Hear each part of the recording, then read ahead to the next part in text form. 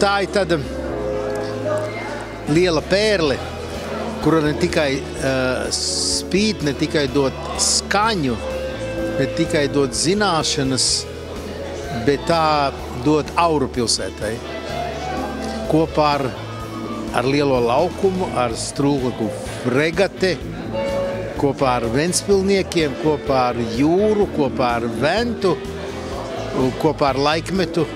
Ventspils pilsēta pietiekami gudri cilvēki, kuri strādā uz ilgspējīgu attīstību.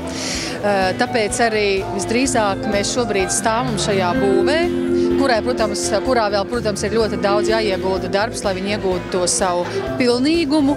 Proti, lai šeit būtu mūzikas vidusskola ar arī ievirzes skolu, lai šeit mācītos bērni un jaunieši, lai šeit savus talantus varētu izrādīt labākie Ventspils, Latvijas un pasaules mūziķi. Nu, tā sajūta, protams, ir neizsakāms, ar kādām es to sagaidu. Protams, tas ir prieks par to, ka ieguldītais darbs, ne tikai mans, protams, lielāko daļu, gan domas vadības, gan ministrijas darbs ieguldītais, lai vispār tas projekts varētu realizēties, ka tas beidzot ir beidzies un tas projekts reāli mēs redzam, ka top. Tas, protams, ir sajūsmas pilns visam kolektīvam.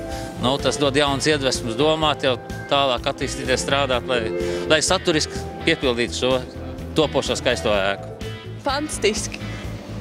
Būs forši! Viss būs ideāli! ja, jauna skola, jauns prieks. Es domāju, ka audzēkņiem mums vairāk vietas, kur mācīties, un mums būs plašums, un mums būs arī sava vieta, kur arī atpūsties, un nebūs vairs tā spriedzuma, visi viens otru redzēsim, jo mums tagad ir tās daudzās ēkas, un mēs praktiski nestiekamies, bet es domāju, ka būs ļoti labi.